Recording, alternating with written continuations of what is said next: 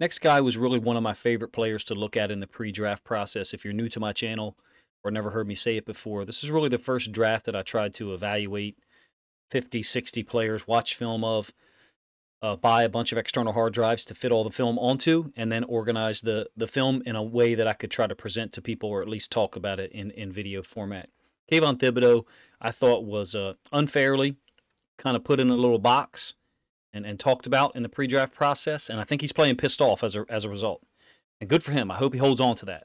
Anger is a gift in a lot of cases. Uh, can be a pure a pure motivation to try to prove people wrong. And I hope Kayvon Thibodeaux, he's 21 years old. I mean, he's 21 years old playing in New York, one of the biggest markets in the world.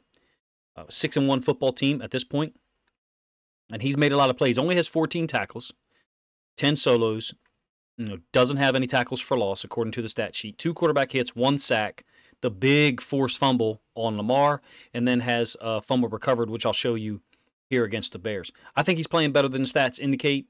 Uh, let's check out some of the film so you can see it for yourself. He's going to be spot shadowed before most of these plays. Do I think he's the best edge defender as a rookie in the in the league this year? Well, no. I mean, I, to be honest with you, I probably would have him behind Travon Walker, but I think he has just as much potential as Walker or Aidan Hutchinson. I think he presents matchup problems. Like, for example, here, you know, I'm a Ravens fan, but this is a matchup problem for the Ravens. Patrick Mekari going against Kayvon Thibodeaux. It's my opinion that a lot of these pass rush situations where a guy doesn't win the initial engagement, the player who normally wins the second or third engagement in terms of the hand fight, in terms of the move that's being run, is just a better athlete. It's also about technique, but Kayvon Thibodeaux is just a better athlete than Patrick Mekari here. Once he gets the second push on Mekari, he's able to maintain his balance and continue pressing forward.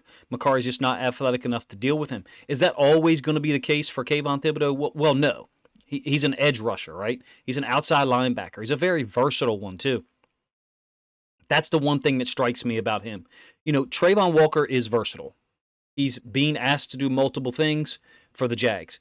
Aidan Hutchinson, in my opinion, is a little less versatile in terms of the total number of techniques that he can demonstrate in a per game basis. To me, Kayvon Thibodeaux is the most versatile guy. I loved his pass drops at Oregon uh, during his last year. I really thought that he was a guy who had unique awareness when he was asked to cover in zones, particularly to the boundary. Great pass rush motor, great motor against the run, takes on blocks well. And then, oh, by the way, like he has a knack for knocking passes out of the air when he's not going to win you know, the when he's not going to get to the quarterback before the ball was thrown. I think I've got him at three this year. I don't know what the stats, you know, are that I just read out to you. I don't think I referred to them. But to be honest with you, this is something that all the Giants seem to be doing, but I thought I noticed it in his game last year at Oregon as well, although he didn't have as many situations where he just wasn't winning the pass rush, you know, duel between him and the tackle. Unblocked here against the Bears, a clear, you know, pass deflection these are the types of things that happen, and then you, your teammates can get an interception. That one almost looks like a pick six if the ball ends up higher. I think he's a big part of what the Giants are doing on defense. I really do. When Ojulari is out, he's just clearly their best edge defender in terms of athleticism, in terms of explosiveness. You saw the way that he finished that fourth quarter forced fumble on Lamar with the strip sack. Another tipped pass against Aaron Rodgers. I believe this was third down, almost intercepted, like I said. The very next play, He's on the other side. Aaron Rodgers kind of throws it away, throws to the other side of the formation, and it's also tipped by one of his teammates. You can see there's a D tackle here who's kind of switched rush, and he's also got his hands up. Seems to be something the Giants are focused on. It's a high, it's an indication of high effort, and it kind of goes against some of the things that were said about Kayvon Thibodeaux during the pre-draft process, or kind of some of the things that were whispered about at least. All right, this is a sick play.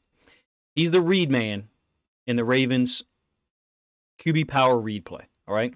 So if you're unfamiliar with it, the running back is going to cross Lamar's face and he's going to go parallel to the line of scrimmage. So he's running towards the sideline. After the mesh, whether Lamar keeps it or not, he's going to run off tackle. That line's actually kind of, you know, it's kind of like this off tackle because you're getting all down blocks by these guys. All right. And Kayvon Thibodeaux is the read man.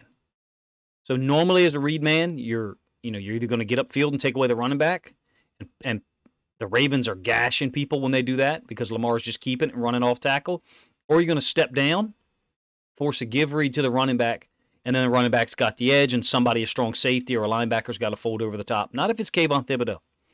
Kayvon Thibodeaux forces a give read by Lamar by stepping down.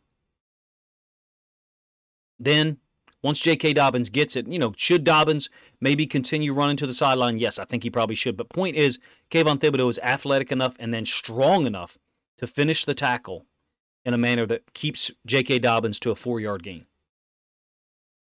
That's not normal. That's that's not the way I know this. I'm a Ravens fan. I've seen this play run this year. It's gashing people.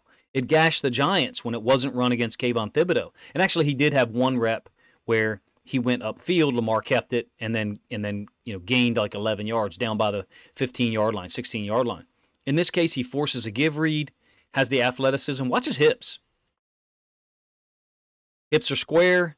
Then they're pointed to the sideline. Then they're pointed almost in the exact opposite direction when J.K. Dobbins tries to cut it back. That's elite athleticism. That's that's elite among the elite, which is NFL athletes. That's a rare quality, if you ask me, especially to be able to do that against an athlete the caliber of J.K. Dobbins. All right, a really random play you can see at the beginning of it. Inside linebacker is kind of giving him directions, moving him out to the sideline. My guess is there's three receivers out there, so he's trying to get him adjusted.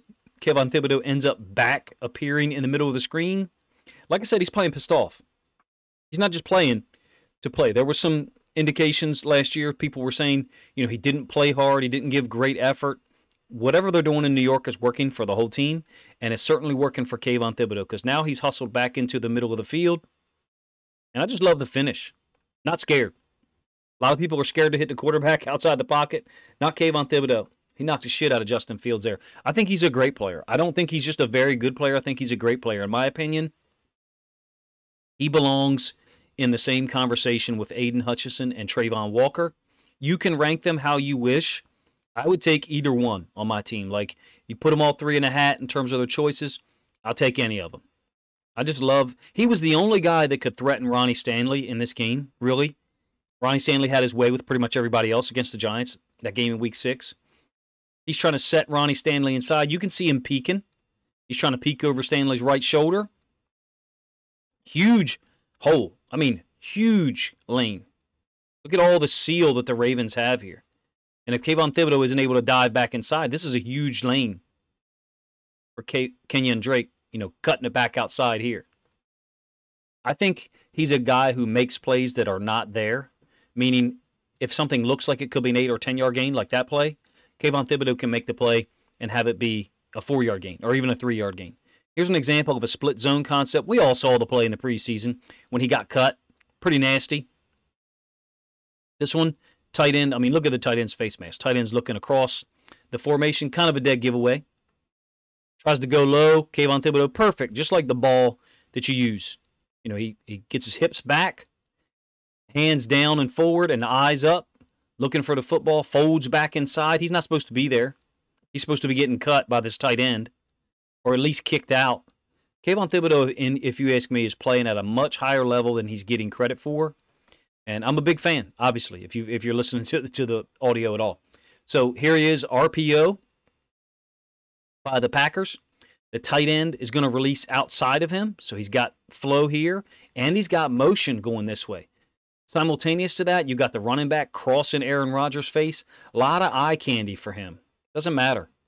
He can fold inside and he explodes on tackles. Like he just, just doesn't tackle people and gently get them to the ground. There's an explosion because he's got powerful hips. He's a very athletic guy. I love this. This is probably my favorite play of his. Now I'm a Ravens fan, but I have to admit, you know, it was a great strip sack that he had of Lamar. But look at all the action you've got. Tight end releasing outside, motion here, running back crossing face. Oh, by the way, you could have Aaron Rodgers keep this football and then throw it outside to the flats. Kayvon Thibodeaux Go slow until you know, or whatever phrase you want to use. Now he sees the ball handed off, takes off. Yeah, it's like a four or five yard gain. Kayvon Thibodeaux, if you ask me, closes gaps that look larger when other people are on the field, even other people for the Giants. They're six and one, playing well. I think Kayvon Thibodeaux is a bigger piece of it than the stats show. And I'm trying to show you film illustrating that using mostly end zone angle film. You know, would I take him over Travon Walker? Would I take him over Aidan Hutchinson? I don't know, man. If you want to have those kind of conversations, like find another channel. The guy's a hell of a football player. He deals with tackles well.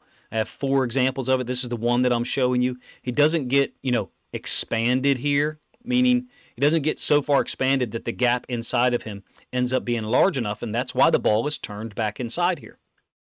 Because Kayvon Thibodeaux is strong enough playing with a low pad level to turn it back inside. I think it ends up ends up being a four yard gain. Guys, let me know what you think of Kayvon Thibodeaux.